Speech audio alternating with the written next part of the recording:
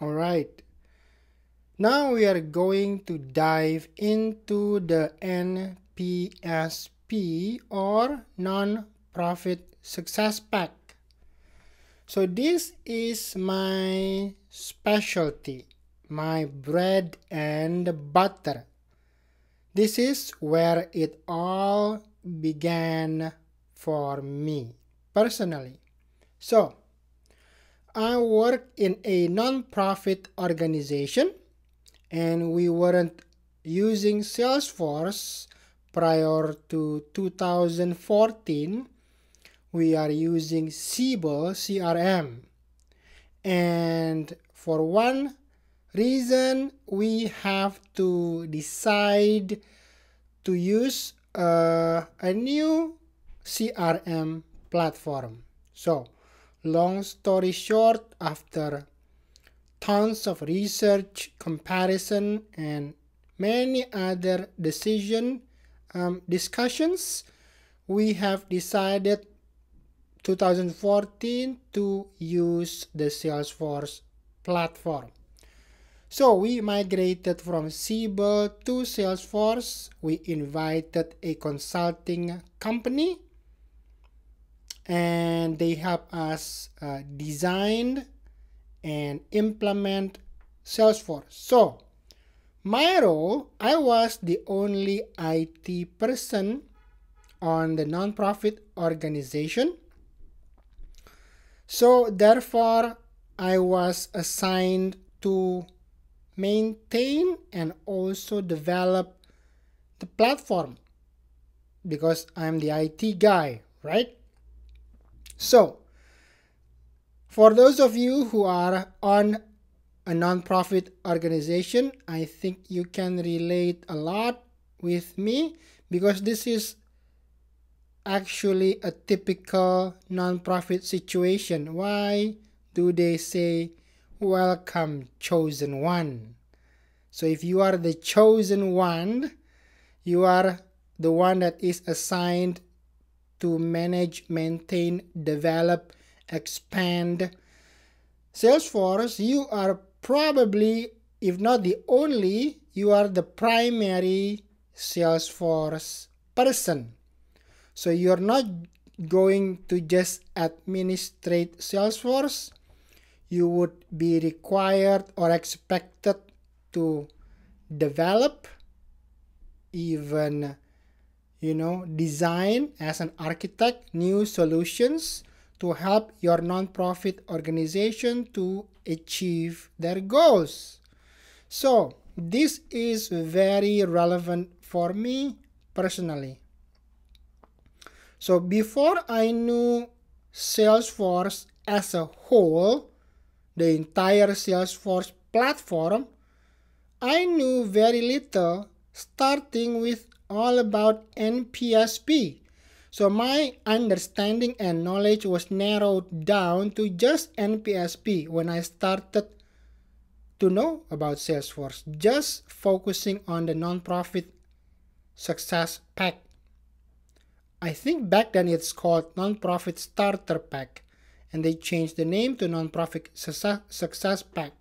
So for those, those of you who have been following my courses, we will not rediscuss everything that we have discussed on the admin beginner trail, admin intermediate trail, and admin advanced trail. So I have even uh, uh, created the developer beginner trail, developer intermediate trail, and the App Exchange development trail. So those of you uh, who have not followed those trail or courses, please feel free to do that first and then jump into the NPSP. Right? Not the other way around. I think that's the better path. So if you are starting uh, to learn Salesforce because your organization is just adopting Salesforce and you are wanting to know how NPSP works, it would help you better if you understand Salesforce as a whole first. You can go through the all those those trailheads that I've been through like over 200 um, videos I think I've made 230 something videos. Go through that and then when we discuss this you have a better understanding. And actually this is way way more simpler than Salesforce as a whole. Okay let's get started. With that being said this uh, section the Salesforce data model we've discussed this thoroughly in depth on the admin beginner trail. So basically this explains what is an object, what is a field, it is related to a spreadsheet like an Excel spreadsheet. So objects are the spreadsheet itself and the fields here, the fields on Salesforce objects are the columns, okay? So please feel free to read through this if you are um, you haven't gone through the admin beginner trail, you can read through it. But for those of you who have been following me on those other trails, this is basically the basic of Salesforce. We are going to actually skim through it because we've discussed this in length and in depth. Okay, so this is the basic. So I'm just going to stop and focus when there is a specific NPSP um, model or uh, specific topics that pertains specifically for the NPSP. We are going to focus on that and discuss that. So this is the standard Salesforce um, page which you have um, been um, this which we have discussed about. I'm gonna skim through it. Please feel free to read through that. Now, the NPSP data model. So what is the NPSP package? What is the NPSP? The whole NPSP the whole NPS, NPSP is basically a whole lot of customization, customization of the basic Salesforce platform. So a ton of customizations specifically made for serving non-profits organization. That being said, you can actually build the whole NPSP package on top of Salesforce on your own by what why would you want to do that right that's that's pretty stupid if somebody else already did the, the ton of work you can just use them right so the specific um, difference that's uh, that comes with the NPSP for example this model here an account an account can be a household, which is a family, um, and it can be also an organization, right? If it's if the account is a family, the contacts are the mom, dad, the children, probably. If it's an organization, it can be a business, right? It can be the CEO, the vice president, the sales people, marketing people, customer service people, and so on. It can also be um, a prison facility like my nonprofit organization. We minister to prison prisoners as well, help them out. So we have a prisoner as the account and the contact can be the head of the prison or the prison manager or the chaplain. And then the contacts can also be the prisoners itself themselves and in or inmates right? Those are the contacts and the opportunity are usually donations um, grants donations book orders and so on and so forth. So those are basically the main components the accounts the opportunities and the contacts. And there are types of accounts. All right? So here you can read through this as well. And campaigns. Campaigns are uh, uh, an object where you can keep track of any outreach or marketing campaign or outreach campaign. Say for example you are having an event right? And you have um, 5000 people invited to the event. How many people came? And then how many give donations? How many bought a book, how many bought new people that they knew into the event, creating new names, contacts. So all those are trackable through campaign, right? We will discuss about campaigns in depth um, on on these trails here. So we have account, contacts, opportunity, and campaign so far, all right? So that's the data model out of the box for NPSP. And here is the, the more in-depth example or, or the flowchart uh, diagram for the non-profit success pack, all right?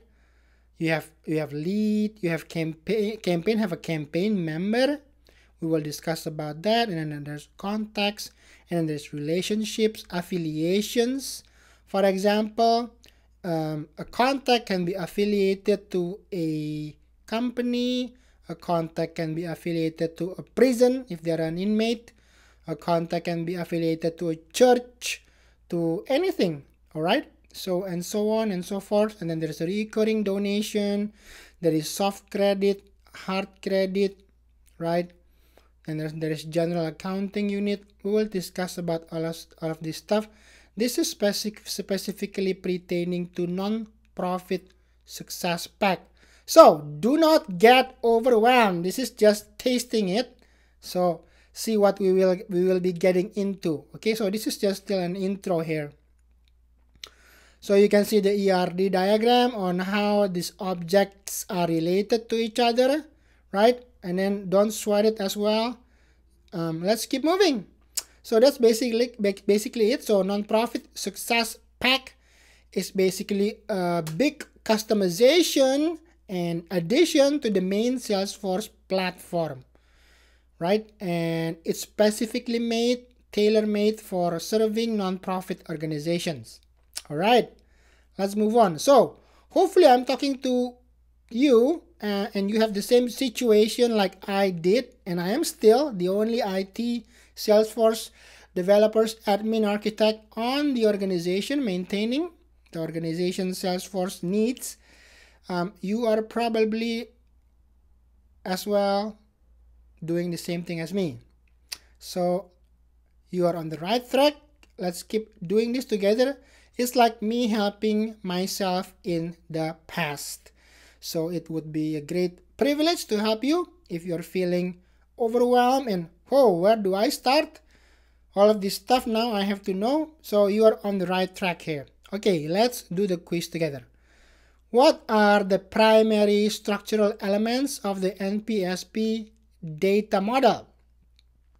The data model would be co consisting of custom and standard objects.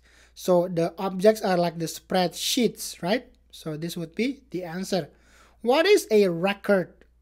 A record is a single instance of an object like a household or a donation. You know, like a record, a record like a file, right? A record. A contact is a, is, is a contact maybe is a is a object, but Jimmy is a record. John Doe is a record, you know, an actual record. So that's it. Let's check the quiz and I will see you on the next video. Bada bing, bada boom. Hit that subscribe button and explore new trailhead grounds and learn to implement the most useful and popular apps on the Salesforce App Exchange.